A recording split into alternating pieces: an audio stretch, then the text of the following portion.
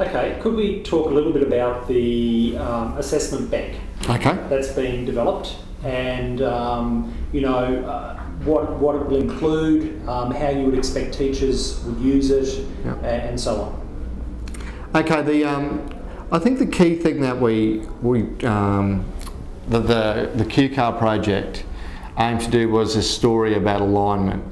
Now the, um, the there's been a lot of research that has pointed out that um, the it's not a, not so much the quality of assessment; it's the confidence with assessment that a lot of teachers have. The um, the, the notion of all the uh, disregard of the importance of assessment. So we've um, a lot of the lot of the researchers found that it's really important to have that the notion of curriculum intent, teaching and learning, um, assessment and reporting aligned. So that's that's a really um, fundamental message of, of the QCAR process.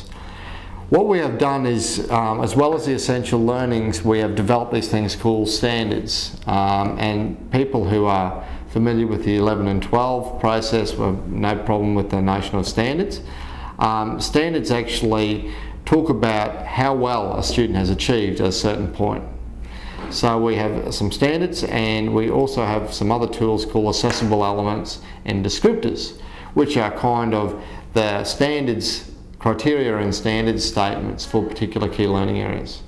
So we've got those tools. What the assessment bank aims to do is show you how to put those tools into operation.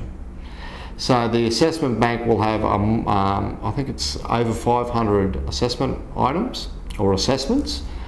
Those, um, those assessments will model alignment. It, they will show uh, the curriculum intent, um, and they will have a student uh, assessment task, and they will have a task-specific um, guide to making judgments. So in senior terminology, we'd call that a task-specific uh, standards and criteria matrix. So it'll, it'll basically be um, uh, an online resource that teachers can download. They'll be able to um, modify the assessment task for their particular context or they can use them as is.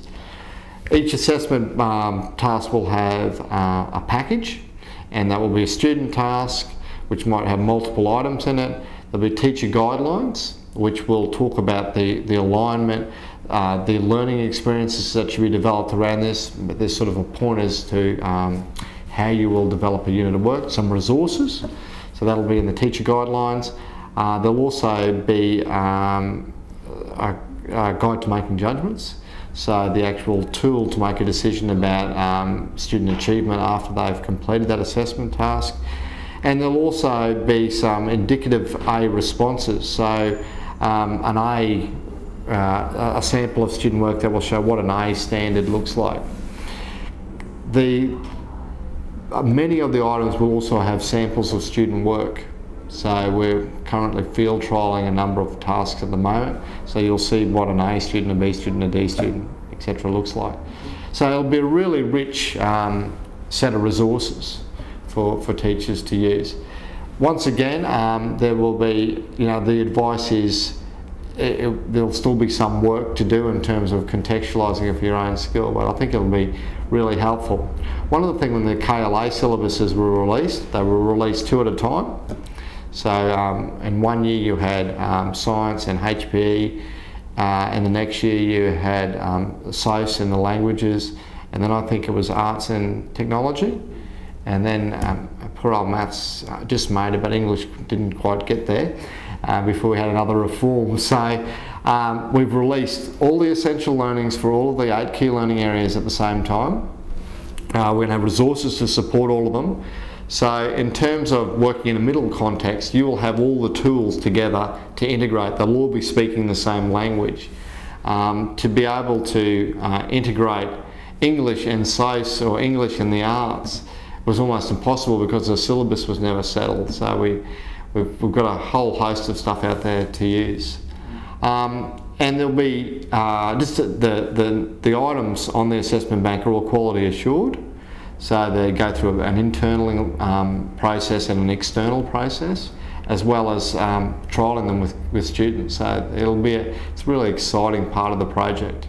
So, Excellent. okay. Okay, so probably just one final question and to finish off, um, and it's kind of, a, I guess, a bit of a summary um, response. But um, what advice would you give teachers who are just starting out planning with curriculum and, and trying to integrate across the curriculum? Like, if you had to take, you know, three or four main points to sum up, you know, the best approach forward, what would they be? Okay. Um, it's a bit of a it's a difficult one. Um, there, there is there's, there is so much advice that um, beginning teachers are, are saddled with. So I think that um, one of the key things I think is that you need to have clarity of focus about what you want to, what you're aiming to teach.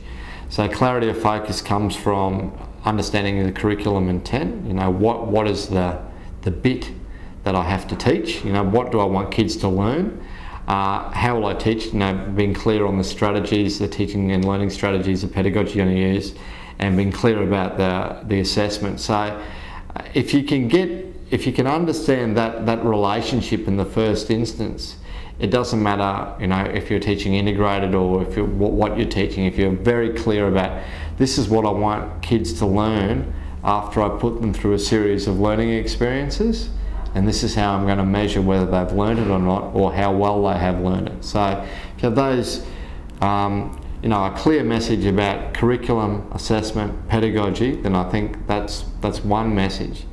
Um, the other thing is, um, in terms of integration, is to um, not try and do too much.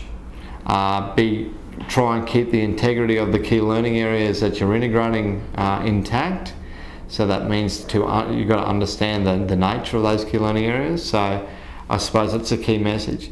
Um, a third one, I suppose, is that there is a whole wealth of resources out there, and sometimes that becomes a bit overwhelming. But don't be afraid to, you know, access those things. There is so much, um, and I suppose um, the, you know, things published on the web is, is one of the, the key sources. You can just find so much about nearly any topic you want. So use those um, and you know um, and don't be afraid to ask around to your colleagues who probably have a whole host of them too. So I think that's another one, and the, I think the um, the last message is that we can get very technical about this whole endeavour, but the thing is, it's about kids, and it's about what's interesting and important to kids.